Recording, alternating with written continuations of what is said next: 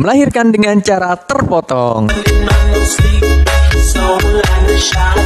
Tahukah sobat, ternyata ada hewan yang berkembang biak dengan cara memotong tubuhnya sendiri. Yap, hewan ini bernama planaria. Hewan yang berbentuk seperti cacing pipih ini biasa ditemui di air asin maupun air tawar. Bahkan ada beberapa yang ditemui di bawah batang kayu. Ketika tubuh hewan ini terpotong, maka bagian yang terpotong itu tetap bergerak dan beregenerasi. Setelah 4-5 hari kemudian, maka potongan tersebut akan menjadi anakan planaria yang baru. Seperti pada video berikut ini.